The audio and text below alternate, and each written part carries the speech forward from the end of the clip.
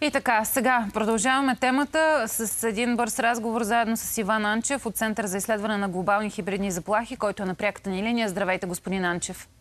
Здравейте, добро утро. Отбелязва се нова фаза на, на тази война. Също времено вчера излезе информация, че израелският министр на отбраната потвърдил, че силите на израелската армия са в сърцето на Газа и че лидерът, един от лидерите на Хамас в Газа, Яхия Синуар, може и да греша ударението на неговото име, е обграден в бункер. Какво може да ни кажете вие от информацията, с която боравите и която следите, разбира се?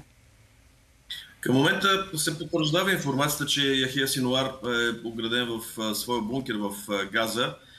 Преди да говорим за това какви биха били последствията от неговото залавяне или ликвидиране, нека съвсем накратко да припомним кой е Яхия Синуар.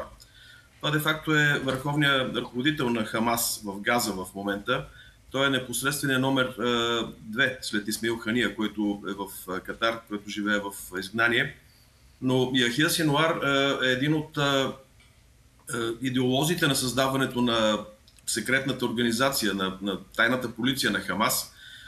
Човек, който има 4 доживотни присъди, излежал 22 години в израелски затвор. Така че от тази гледна точка Яхия Синуар е един определено терорист, който няма какво да губи в момента.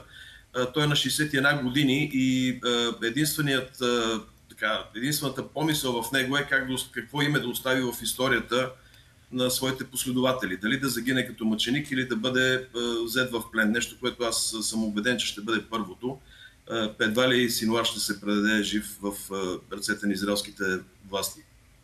Как, какво означава обаче това? Ако Израел успее да, да достигне до този лидер, който е блокиран в този бункер, казвате информацията е потвърдена през различни източници, с които вие боравите. А, ако влезем в хипотеза втора поред, която обявихте за това, че той, е, той ще бъде в плен на Израел, а, какво означава това за, за самата война, за, за развитието на самия конфликт? Как ще повлияе? Какви ще са последиците? Това би било едно добро предимство за Израел, защото Синуар ще бъде а, така, добра разменна монета за всеки а, за отсрещната страна. Той ще може да бъде разменен за всички тези невинни заложници, които бяха взети в, на 7 октомври в Газа. Самия Синуар е именно автор на идеята за израелски заложници срещу всички палестински затворници в Израел. Самия той е бил освободен през 2011 година в рамките на, на голямата размяна за 1020, 1026 палестинци срещу израелския войник Гилат Шалит. Така че тази възможност е на лице, възможна е, но за мен по-вероятно остава първият вариант въпреки всичко. И тук е може би интересно да се вмъкне, че през 2008 година Синуар е бил опериран от мозъчен тумор в израелския затвор. Това показва хуманизма на едната страна и неблагодарността на другата. Ако обаче останем на тази хипотеза и този лидер на Хамас е в плен, това ще повлияе ли по някакъв начин на разговорите, свързани с заложниците, които пък Хамас държат? Има и двама души, които са с български происход. Знаете темата, която следим от последните 24 часа. Може би 48 да, са, да са станали вече. Тези, тези заложници, те са с български происход, но са, не са български граждани. Т.е. техните баби и дядовци са били евентуални български граждани, които разбира се не намалява в никакъв случай тяхната... Нашите власти ще бързат обаче да им осигурят гражданство, паспорт, доколкото разбираме. Премьера Денков каза, че ще бъде направено всичко каквото е необходимо. Аз нямам причина да се съмнявам в тези негови думи. По-скоро да се върнем към Синуари и кризата с, с заложниците. Да, възможно. Аз съм сигурен, че в момента текат много интензивни преговори зад, зад завесата, както се казва със сигурност има най-различни играчи на терен, които се опитват на държавно ниво, които се опитват да решат тази криза. Нещо, което се случи много интересно също в последните 24 часа, имаше нападение срещу кортежа на Мохамед Махмут Абас, на президента на палестинската автономия, и то на, на западния бряг, в Рамала, което говори за радикализация и в Рамала, и вътре в самата палестинска общност в, на западния бряг. Тоест, все по-силно се налага радикалното крило в палестинското общество и сред палестинския народ за сметка на умерени политици, какъвто е Абу Мазен, Махмут Абас. Така че от тази гледна точка трябва да се търсят всякакви варианти за намаляване на напрежението. И аз тук виждам ролята на ислямските държави. Забележете, не казвам арабските, казвам ислямските, защото трябва да включим и Турция в тази група. И да се търсят някакви варианти за решение на въпроса с настаняване. Израелски военен министр каза, че след тази операция няма да управлява Хамас, но няма да управлява Израел.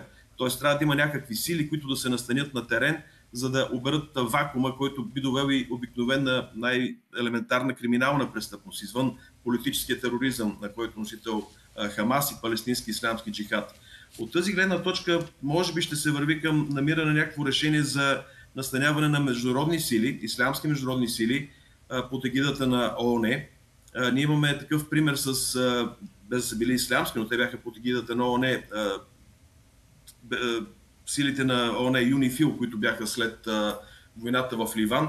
Така че това са възможни варианти и залавянето евентуално на Яхия Синуар от израелските власти би било един добър допълнителен кос, който те ще държат в, в ръката си. Ако обаче влезем в първата ви хипотеза, тъй като ви питах до момента само по втората, когато е, този лидер на Хамас е в плен, т.е. жив е.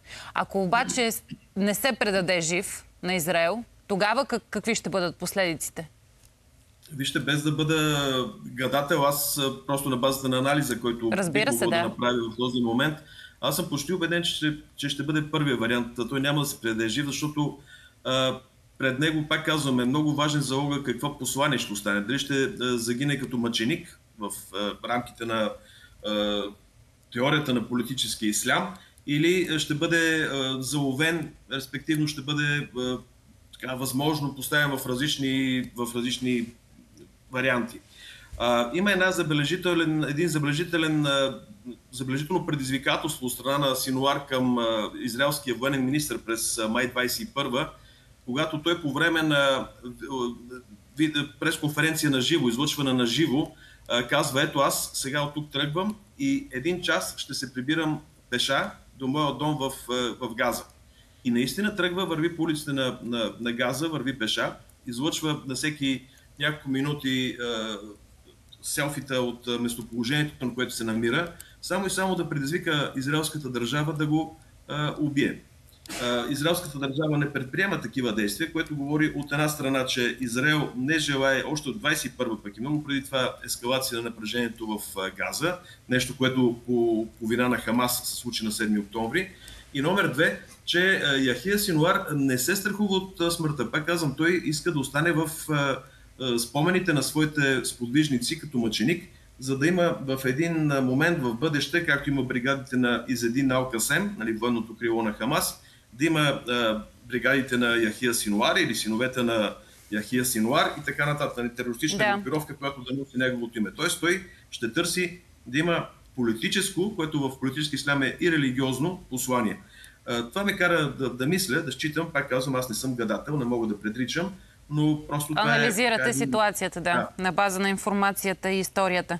А, благодаря ви много, господин Анчев, за това, че отделихте от времето си тази сутрин, за да се включите в нашия ефир. Ще ви очакваме и в студиото следващия път. Очевидно е доста динамична ситуацията в момента в Близкия изток и конфликта, който се развива там. Благодаря ви. Уважаеми зрители, това беше Иван Анчев от Центъра за изследване на глобалните хибридни заплахи по темата Израел и конфликта в Близкия